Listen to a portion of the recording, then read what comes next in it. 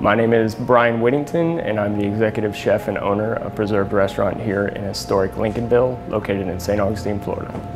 I think the person that had the biggest impact in my career was when I was very young, and it was somebody that taught me that regardless of how good you become, you're always going to have to become better the next day.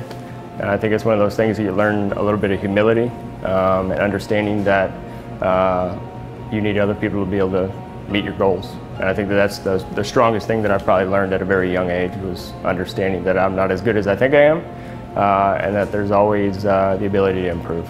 Some of the awards that I've gotten, the James Beard nomination, you know, it's one of those awards where you take it and it's hard to really explain to people that it's a group of sometimes 40, 50 people that uh, allowed you to have the ability to be able to get an award like that. You know, I think the biggest thing that I can say to a young cook is understand it's going to take time. You know, it's not a overnight thing. Uh, you're looking at somebody that's done it for almost 18 years now.